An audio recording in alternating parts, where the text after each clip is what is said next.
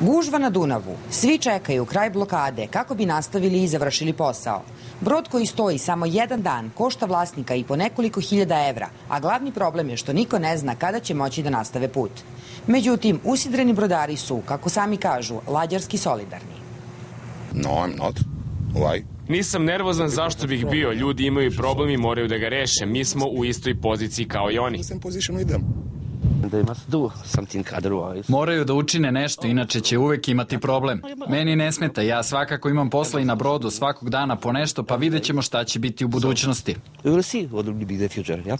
Tokom obustave rečnog saobraćaja, Lučka kapetanija brine o bezbednosti na Dunavu.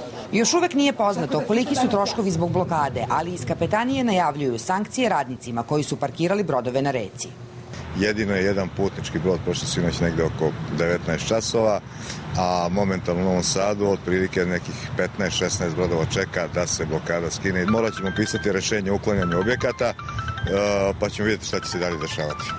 Iako su Mišeluk i Petrovaradin već dva dana usidreni na istom mestu, radnicima, ali ni medijima, vlasnik Dunav grupe agregati Dušan Borovica još uvek ne odgovara na pozive. Tokom dana su jedino razgovarali sa generalnim direktorom Mašanom Mercegovićem, ali bez dogovora. Razgovor je protekao onako bez, bez nekog smisla.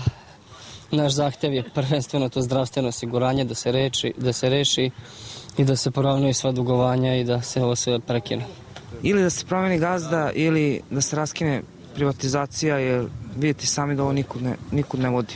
Bolje da nas pobije nego što nas muče ovako šest meseci bez plate. Donosimo im hranu, vodu, lekove, nosimo bolesne ljude napolje, do ambulante, vraćamo nazad i tako. U tom smislu, znači, mi smo jedina veza sa spoljnim svetom.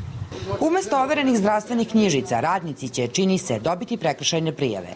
Tokom blokade im se nije obraćao ni niko od gradskih ili pokrajinskih čelnika, tako da je za sada potpuno neizvesno kada će međunarodni plovni put kod Novog Sada ponovo služiti brodovima.